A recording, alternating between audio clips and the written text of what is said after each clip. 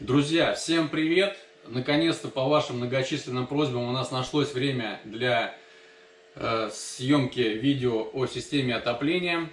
Речь пойдет о гравитационной системе отопления, либо о системе естественной циркуляции открытого типа. И, э, в свою очередь, делясь с вами полезной, на наш взгляд, информацией, надеемся на ваше спасибо в виде просмотра рекламного ролика без пропуска. Итак, поехали. Э, система отопления в нашем доме, в принципе, обусловлена, ну, конструкция обусловлена тем, каким методом мы можем отапливать это наше жилое помещение. У нас э, в распоряжении, ну, просто фантастический диапазон способов. Это А. Дровами и Б. Электричеством. Больше альтернативы нет. Мы же живем в России, у нас газа для России нет. Весь газ в Китае и в Европу, зачем нам газ? Поэтому что мы имеем? Мы имеем вот такой твердотопливный котел, на котором я сейчас сижу. Он теплый, мне очень комфортно, замечательно, не хочется вставать, но придется встать, как говорится, и рассказать о нем. Значит, смотрите, у меня вот такая указочка будет. Она магнитная с этого конца. Чтобы не прилипала к металлу, я буду вот, вот такой вот синей штукой показывать. Значит, вот котел. Называется он термофор. Это модель термофор э, гидравлик студент. Я не, точно не помню, какие там характеристики по объему отапливаемого помещения, помещения, но могу вам сказать сразу, что берите с запасом. Да? У нас помещение не очень большое. Сколько у нас квадратов? 48, да, что-то угу. такое мы считали. Но в районе 48 к 50. Небольшое помещение жилое. Не, не сравнить с гаражом. Вот. Поэтому э, берите с запасом, как бы не будет неприятных сюрпризов. Значит, Смотрите, котел у нас, уже видите, он такой поюзанный довольно-таки, 4 года ему. Имеет он внутри чугунный колосник, вот такую рубашку, в которой циркулирует теплоноситель, это трубы, полости, нижние, верхние, в которой тоже есть теплоноситель. Там вверху можете увидеть вот свод из труб вот такой. Скажу свое мнение. Как бы котел-то пока работает, э, претензий к нему нет, довольно-таки эффективно. Зольный ящик, все как положено. Но я бы, я бы сейчас, если нашел бы модель с просто прямоугольным, э, с прямоугольной рубашкой охлаждения, выбрал бы его. Потому как эти трубы очистить, это отдельная песня. Э, соответственно, вот э, внутреннюю поверхность, которая к стенке прилегает, труп очистить практически невозможно. Там какими-то крючками я пытаюсь почистить, но, в общем, мне не очень удается. В общем, короче, чистить его тяжело. Если есть котлы сейчас в производстве, которые имеют прямоугольную стандартную вот э, рубашку охлаждения, да, с ровными стенками, я бы выбрал такой вариант. Но на тот момент, когда я выбирал, такого варианта мне не предоставилось в продаже, не попался он. Э, варить самому или заказывать не было ни времени, ни желания. Как бы. Стоил он, насколько я помню, в районе 25 тысяч этот котел. Вот. Э, преимущество его какое? Он имеет здесь еще плюсом встроенные тены, место для тенов. Покажи вот здесь. Вот здесь такой короб приварен металлический.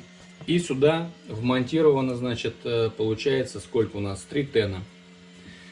3 тена мощностью по 3 киловатта. То есть общая мощность вот этого устройства 9 киловатт. О котле я рассказал, давайте вернемся э, к самой системе. Значит, система это гравитационного типа, ну то есть по-простому самотечная. Она не требует принудительной э, циркуляции за счет насоса.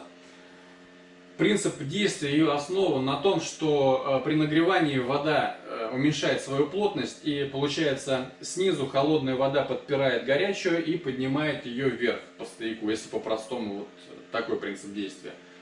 Значит, почему я выбрал именно такой вариант? Э, даже не, не скажем так, возможность быть энергонезависимой в отоплении, а первая причина это безопасность своей семьи. Ну, попытаюсь объяснить. Если мы имеем э, систему с насосом, да, и твердотопливный котел, То есть это получается у нас бомба замедленного действия такая. Рано или поздно у вас, скорее всего, возникнут проблемы. Никакие там предохранительные клапаны, э, системы вот эти безопасности, да, ну не спасут вас по большому счету, потому что, ну что там, у вас будет пар идти из какой-то там, из какого-то отверстия, там 2 миллиметра, да, при том, что котел нагреваться будет очень интенсивно, я считаю, что это ерунда, все равно будут проблемы. Ну, попытаюсь вот на пальцах объяснить. Смотрите, если у вас система с принуждением, с принудительной циркуляцией за счет насоса и газовый котел, это отдельная тема. Там выключили свет, насос выключился, сработала защита на газовом котле, подачу газом перекрыл, котел погас, все, вы без отопления и в безопасности.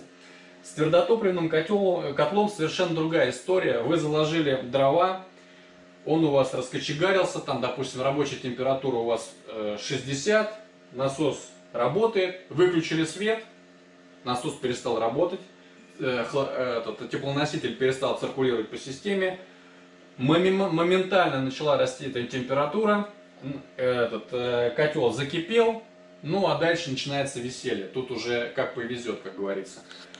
Вы скажете генератор. Хорошо, да, допустим, генератор. Вы побежали в сарай, там доставать, отыскать генератор, и вы его не заводили там 4 месяца, дергаете, не заводится, или даже если он заводится, завелся, выделили его там 0,4 киловатта на насос, но 15 минут прошло, за 15 минут, скорее всего, котел уже закипел, и последствия, ну, непредсказуемы, непредсказуемы, мягко говоря. То есть, что там с ним произойдет, разорвет его, не разорвет, зальет все кипятком или вам повезет, как бы, мне так, такой расклад не устраивал, как бы, да. Поэтому такую систему я отсек сразу, так как у нас часто выключают свет, вы сами знаете, очень часто у нас выключают свет. Вот, так что остановился я на системе открытого типа, который работает при атмосферном давлении. В такой системе максимум, что у меня здесь произойдет, это в расширительном бачке закипит вода. Вот, покипит, покипит и на этом все закончится, все успокоится как бы. Вот. Помимо безопасности для нашей семьи, э, громадным преимуществом является энергонезависимость. Наверное, для многих это будет э, более важным преимуществом, чем для нас. Значит, эм, Допустим, такой вариант с отключением электричества, который у нас часто довольно-таки происходит, как там ледяной дождь, прошел ураган и так далее, нас легко может на 3-5 дней э, выключиться электричество. Если это холод, зима, да, то, соответственно, ну, не знаю, какой вариант. Генератор там, да, опять-таки, не каждые 5 дней отработает, и сколько он сожжет у вас э, солярки или бензина, большой вопрос, как бы, да. Вот, поэтому мы э, в такой ситуации без проблем останемся с отоплением. Воду мы можем достать из колодца, грубо говоря, ведром. Но в любом случае, конечно же, э, твердотопливный котел не, я бы ни в коем случае бы не оставлял так без присмотра. Затопили, уехали. Но если только вот как-то уже он прогорает, там можно уезжать. В любом случае это все чревато довольно-таки. Так, давайте, значит, еще закончим основными моментами теоретическими. Значит, что требует такая система? Такая система требует довольно-таки больших диаметров труб. И как бы насчет эстетики здесь, конечно, кому как, но многим она не нравится. То есть э, трубы наружу, они довольно-таки массивные, больших диаметров. Вот. Касаемо труб, я скажу так, что э, на системе самотечной я бы вообще даже не рассматривал применение полипропилена. Это мое мнение. Почему? Э, да потому что это бесполезно просто-напросто. Здесь металлические трубы везде. Кроме подводок э, к радиаторам я покажу, там я не мог так изогнуть, я не имею таких навыков, чтобы вот подвести к, непосредственно к радиатору, к регистру металлом, я там использовал кусочки полипропилена. Но вот здесь я считаю просто необходимо использовать металл. Почему? Потому что вот каждая такая труба это и есть радиатор, который отдает нам в помещении тепло. Если бы здесь был полипропилен, он просто бы гнал теплоноситель до радиаторов, и уже радиаторы отдавали бы тепло в помещение. То есть вот это все было бы бесполезно. Ну просто кусок пластика. Полипропилен обладает очень низкой теплопроводностью, поэтому тепло он отдает очень неохотно. Вот если бы здесь не было этих труб, я бы, ну покажи вот так, просто обзорно, сколько этих труб у нас вдоль стен проходит. И обратку покажи.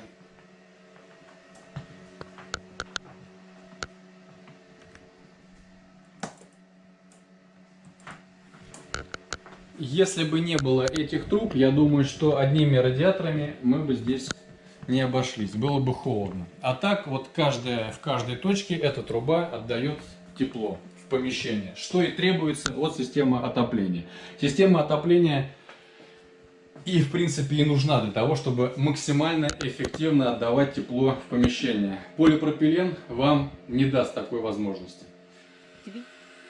Котел сейчас работает от одного электротена. Температура на нем 43 градуса. И я предлагаю произвести небольшой экспериментик, имея вот такой китайский пирометр. Ясно, что э, на точные показания рассчитывать не имеет смысла, но нам главное уловить разницу температур.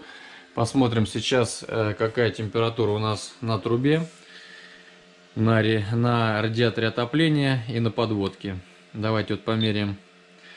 На котле у нас сейчас почти 39 градусов. Посмотрим, что у нас, допустим, вот здесь на трубе 37,1. Так, на радиаторе 31,2 на подводке полипропиленовой. 33 так еще раз сейчас не знаю попал. 32,7 так и на уголке полипропиленовом 30 на муфте тоже 30 но получается самая горячая у нас это труба. 37 градусов. Так Значит, смотрите, здесь у нас идет вертикальный стояк, 2 дюйма, я уже сказал. Здесь тройник и расходятся два плеча. Один пошел у нас э, э, на кухню и в ванную, и другой пошел вот через перегородку вот сюда в спальню. Здесь у меня было переживание, что э, вот, этот, вот эта ветвь у меня в два с половиной раза длиннее, чем вот эта, и она будет холоднее, относительно вот этой короткой. Поэтому я здесь поставил два шаровых крана. Регулировать поток шаровыми кранами неправильно, лучше это делать вентилями, но так как у меня, ну, здесь как бы не так это все важно, в общем, я поставил шарики и э, ими вообще не пользуюсь. Потому что не знаю, в чем причина, абсолютно одинаковая теплоотдача идет что здесь, что здесь. Для меня это загадка, честно говорю не могу объяснить. Но разница в температурных режимах, да, по батареям, может быть и есть какая-то вот, но мне на руку даже незаметно. Несущественная. Несущественная, да. Значит, смотрите, важно, чтобы вот этот стояк был довольно-таки большого диаметра, я уже сказал, 2 дюйма, это минимум. Вот, далее он уже переходит в полтора и расходится. Вот это называется лежний, либо подающий э, подающий магистраль. Все вот эти трубы, они выполнены с наклоном. Наклон минимальный 2 мм на метр. А, лучше рекомендованный, самый оптимальный, это 5 мм на, на метр, то есть пол сантиметра на метр. Но здесь где-то так и сделано.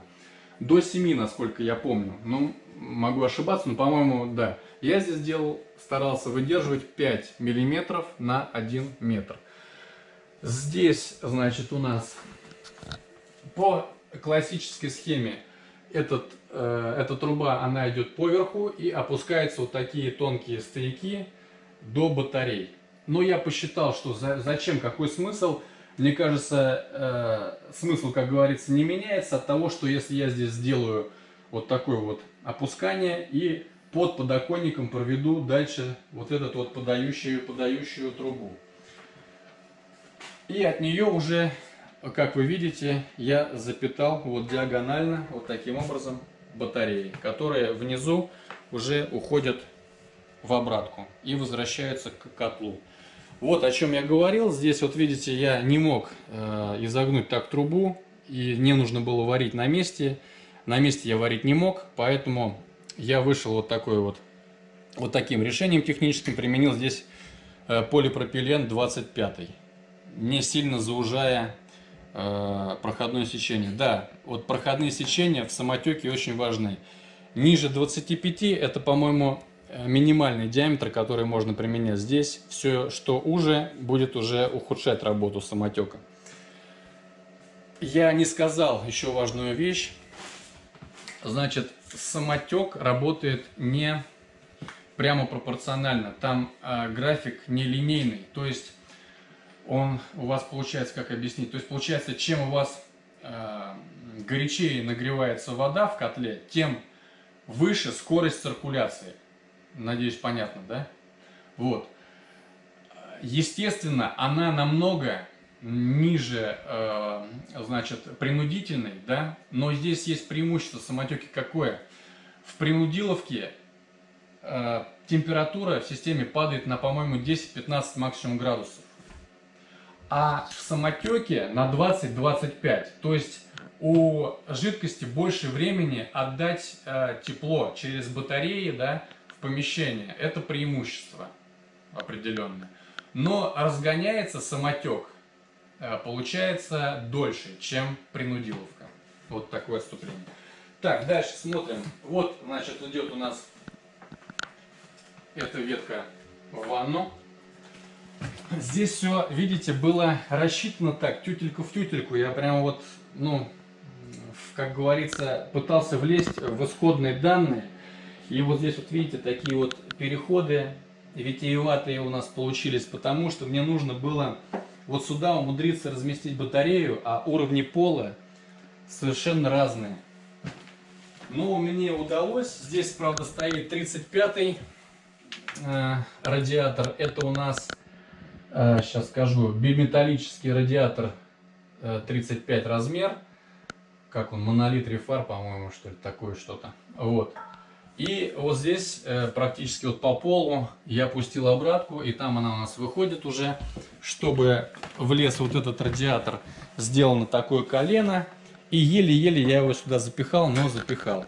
И вот пошла обратка с контруклоном уже в другую сторону, также пол сантиметра на метр, и идет дальше до котла. Идет, идет она до котла. Здесь вот еще одна особенность таких систем – а, это порог. С такой системой э, вы не сможете сделать дверь без порожка, так как, ну, если в этом месте проходит труба, так как она, конечно, забирает определенное пространство. Вот вы можете видеть, как вот это здесь сделано. Но этот порог у нас был по конструктивным особенностям этого здания, поэтому мне по барабану был, он все равно бы этот порог остался, поэтому как бы в моем случае не актуальная проблема. Вот, дальше, значит, обратка у нас возвращается вот сюда в тройник, вот сюда в тройник и в котел вот с этой стороны. Сразу смотрите, я вам покажу, значит, я сделал на байпасе насос, циркуляционный насос. Для чего я поставил циркуляционный насос? Так как я делал систему эту первый раз и не знаю, последний ли или нет, Э, в общем, я переживал по тому поводу, что будет ли она функционировать или нет. Поэтому я сразу же вот в этот узел обратки сюда поместил э, циркуляционный насос вот по байпасу, вот так, по-моему, правильно я называю. Но не обессудьте, если ошибся. Ну, грязевик стандартно, значит, э, насос сам и два крана, значит, да. И кран вот на основной трубе. То есть, если мне нужно, чтобы система работала через насос, я открываю вот эти краны, перекрываю вот этот э, большой кран, да, основной, по которому вода циркулирует, минуя насос. И все, и система уже работает принудительно, прокачивая вот так сюда жидкость, теплоноситель наш в котел. Но включал я его, ну, наверное, два-три раза. Первый раз, когда собрал систему, посмотреть, что она работает. И еще два раза, э, чтобы, как говорится, не заржавело. Все, более я и, и даже не, ничего здесь не это самое, не перекрываю, не включаю.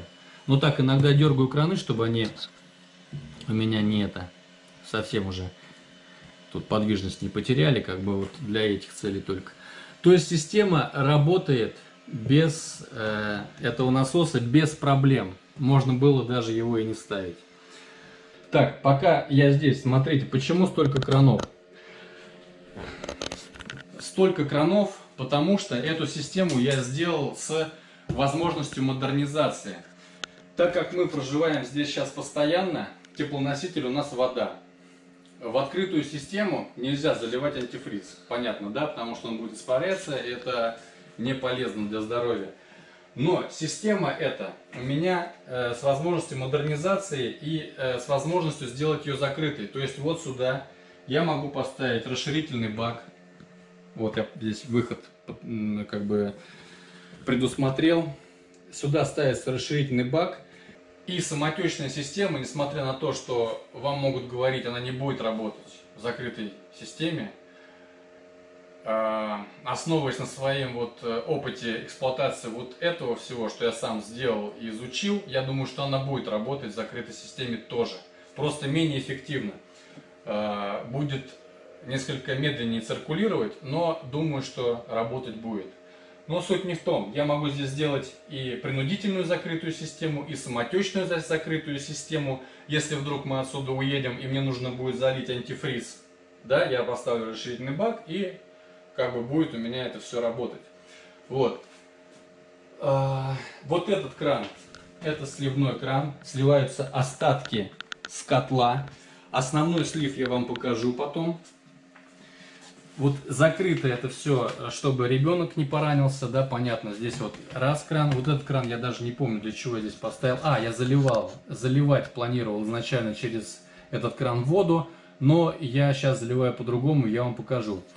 Сразу анонсируя, э, скажу, что система имеет аварийный сброс воды. Если вдруг что-то произошло, форс-мажорное, и я не знаю, что должно произойти, но на всякий случай система есть аварийный, э, имеет аварийный сброс. Я вам потом, уже в конце видео, кто досмотрит, я расскажу о ней. Значит, расширительный бак стоит вот здесь. Это какая-то там селедочница, что ли, из метра, из нержавейки. По поводу расширительного бака, консультируясь с людьми, знающими, даже на известных каналах я задавал вопросы людям.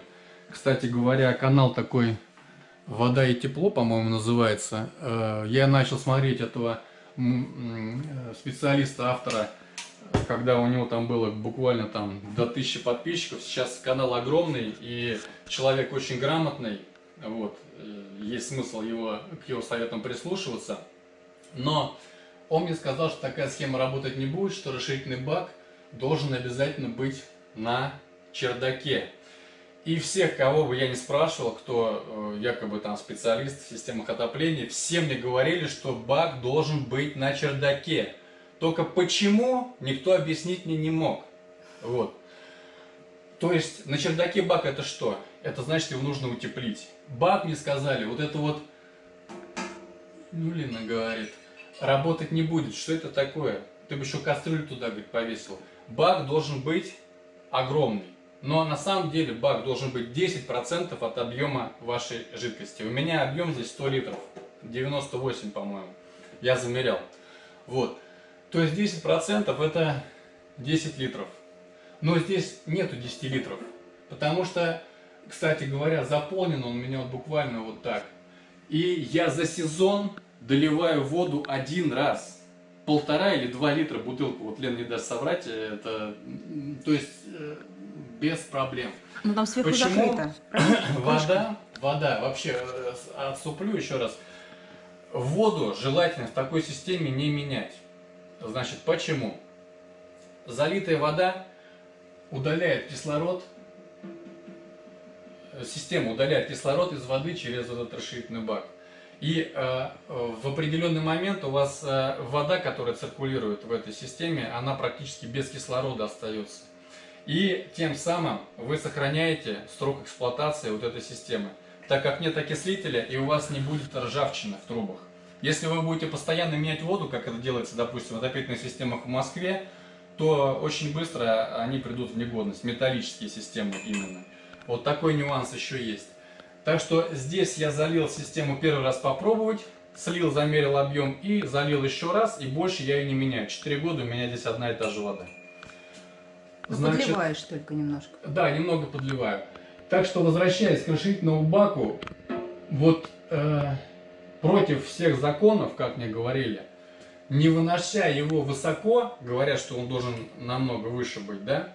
Вот в такой схеме без проблем все работает. Никаких утеплений на чердаке, никаких гигантских этих вот э, бочек не надо. Вот, работает, все. На решительном баке сверху крышка, и в крышке просто отверстие, ну не знаю, 20 миллиметров. Для сообщения с атмосферой можно еще меньше, мне кажется, без проблем все будет работать. От этого тройника влево у нас уходит вот подающая труба через перегородку в спальню. Здесь опускается под подоконник. И также с уклоном 5 мм на метр идет до крайней батареи и возвращается от нее по обратной магистрали. Здесь вот тоже диагонально сливается с вот этой большой батареей. И идет также через перегородку на обратку в котел. Вот сюда. Про дымоход. Дымоход нержавейка миллиметровая. Проходка через плиту перекрытия железобетонную. Э, железобетонная труба просто отверстие сделано чуть шире. Никаких там изолирующих ничего. То есть бетон, что бояться, он не загорится. Да? Здесь вот экран и утеплители там 10 сантиметров минваты. И на чердак выходит уже сэндвич-панель. И сэндвич-панель проходит через крышу на улицу. Здесь нет сэндвич-панели. Почему? Потому что зачем я буду изолировать тепло, которое мне нужно в помещении, правильно? Правильно. То есть труба и является еще дополнительным обогревателем вот этого помещения. Все. Здесь ставится экран декоративный, чтобы э, ребенок не проходил, не хватался за нее. Вот, на лето экран убирается. Когда ребенок вырастет, в этом отпадет необходимость даже вот как бы в экране. Труба собрана, как вы говорите? Труба собрана по конденсату, то есть э, верхняя часть... Тихо, вот тихо, она. ну ты... Ну она, она же расширяется, она с зазором. Верхняя часть вставляется в нижнюю. Понятно, да? Зачем?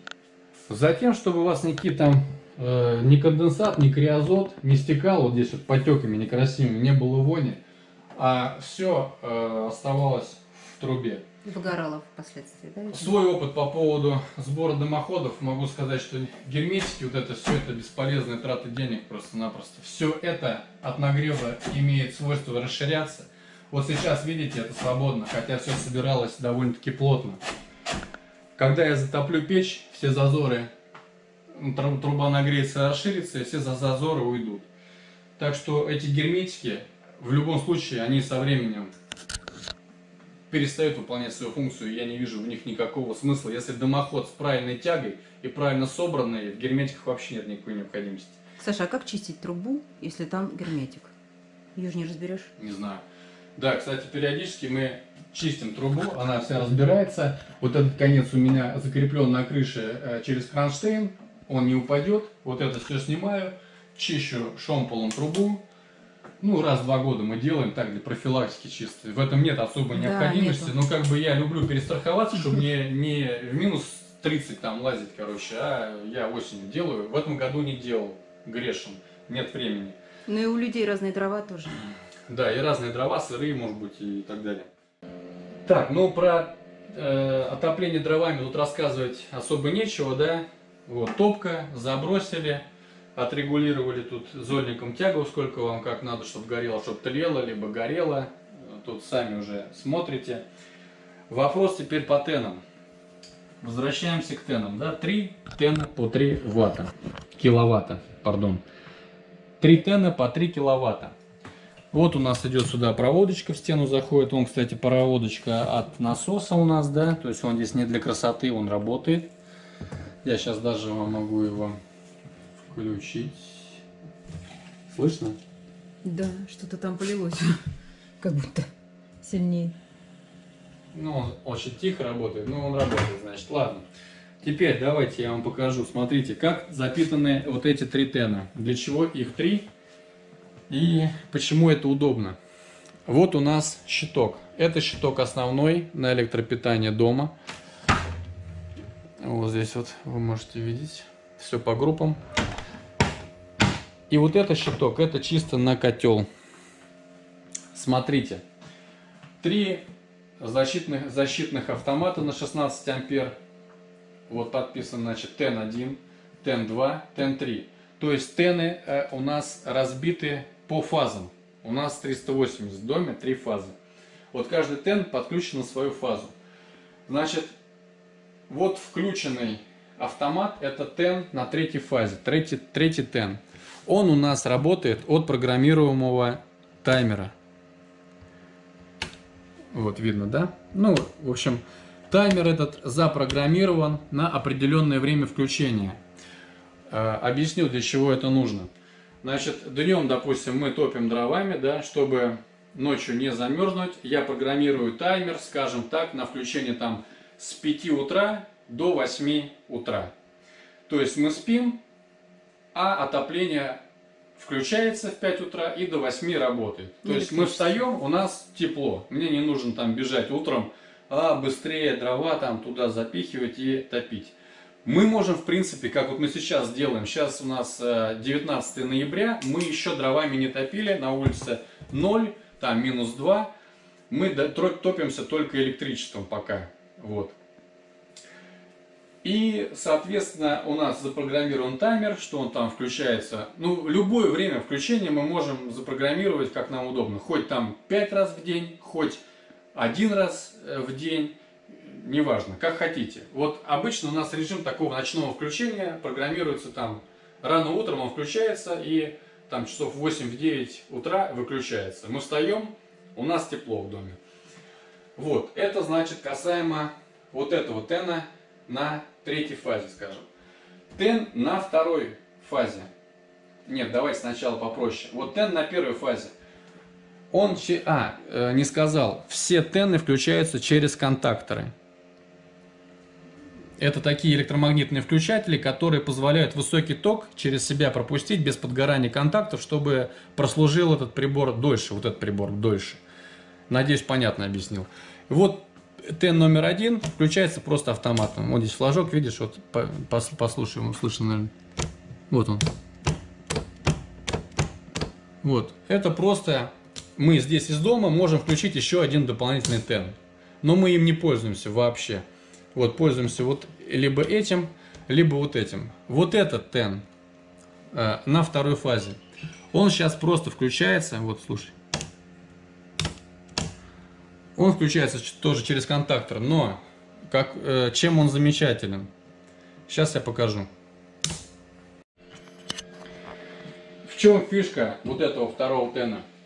Фишка в том, что управлять им этим теном я могу с телефона через мобильную связь э, с помощью сигнализации, которая э, имеет управляющий выход, подключенный вот к этому контактору второго тена, я могу с телефона включать свой тен э, из любой точки земного шара, где есть мобильная связь.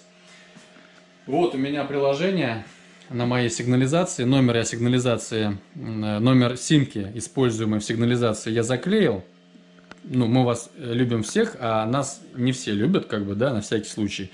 Вот здесь у меня оповещение приходит о состоянии дома, значит, ежесуточно. И вот сейчас мы видим, э, реле включено. Вот, температура, допустим, 16 градусов была, да.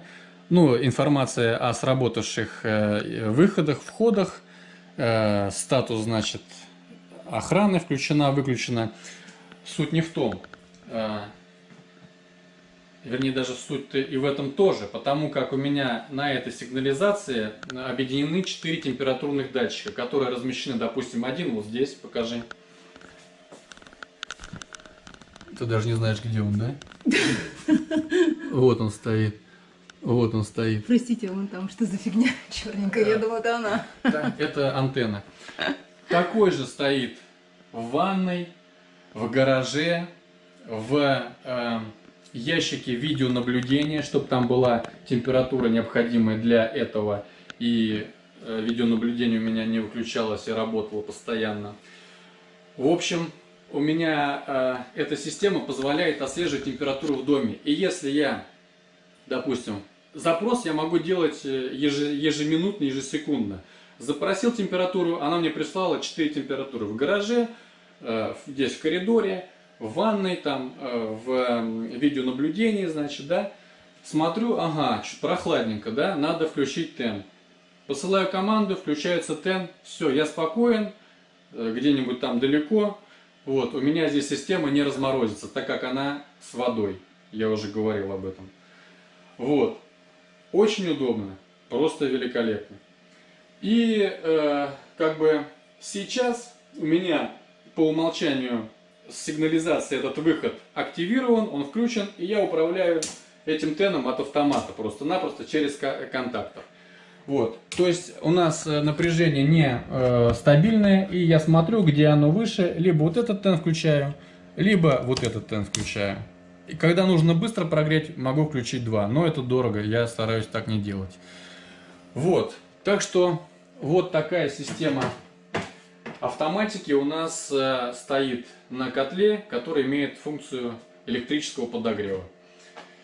Хочу добавить, что то, что на, э, через интернет срабатывает все это дело, это очень удобно. Не через интернет, это через телефонную связь, через связь мобильную. То, что удобно, что ты можешь заранее включить отопление в доме, если ты, допустим, здесь отсутствуешь. Да, ну так как мы живем э, здесь сейчас постоянно, и для нас это не сильно актуально, но очень удобно было раньше, когда... Э, наездами. Я, да, наездами здесь бывали, и как бы все это здорово, короче говоря. Не просить соседей печку топить-то. Нет, это исключено. Знаю много случаев, когда ничем хорошим это не заканчивается. Ну и теперь давайте про бонус. Э, система аварийного слива воды. Пойдемте.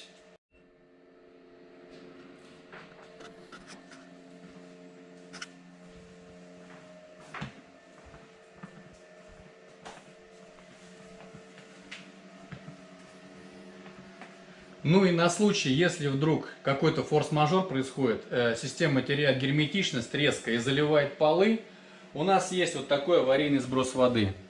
Этот кран открывается, и вот по этой трубе вода удаляется у нас вот в техническое помещение подвального типа. Вот эта труба.